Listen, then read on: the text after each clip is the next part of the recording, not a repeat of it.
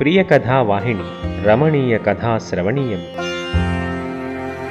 ఆ రాత్రి వరండాలో పక్క వేసి ముందు రోజే పాలు వాడకం పోసే వెంకట చేత తెప్పించి పెట్టిన ముర్రు పాలతో చేసిన జున్ను తీసుకుని వెళ్ళి ఆయనకు ఇచ్చారు. ఆయన పక్కన కూర్చుని కనకాంబరాలు మాల కడుతూ ఏమైంది? ఈరోజు అదోలా ఉన్నారు? అని అడిగారు అన్నపూర్ణమ్మ గారు ఏమని చెప్పేది?